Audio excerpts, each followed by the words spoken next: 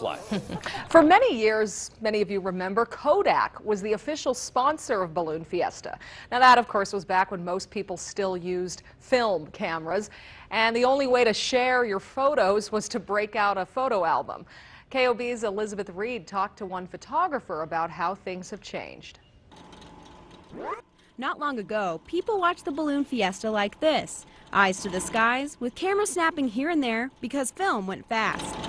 But now, thanks to social media, we're all looking at balloons behind a screen and sharing them in seconds. And it's not just millennials joining in on the movement. iPad take um, better pictures. I'll go back and share them with my mother and my son. It's the easiest way to share it with people. We can upload them onto social media right away. But are we missing out on the experience because we're too busy playing with our phones? Let me just take a picture. Dr. Regina Valencia is one fiesta goer who remembers simpler times. Back then it was filmed, and then you had to wait for those pictures to become developed. Wonderful memories for us, but we hardly ever look at them anymore. And now they're sitting in shoeboxes in my attic. Now she looks forward to watching her photos entertain others for years to come. And you just hear people say, I could have never imagined this what it looks like in real life. And, and they're sharing it with their friends. And with more than 19,000 balloon fiesta photos uploaded on Instagram the whole world can now see it in ways they never could before Elizabeth Reed, KOB Eyewitness News 4.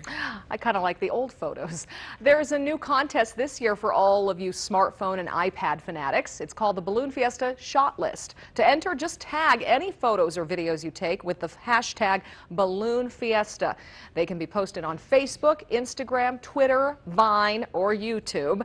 Balloon Fiesta organizers will pick a winning photo and video every day. Winners will get exclusive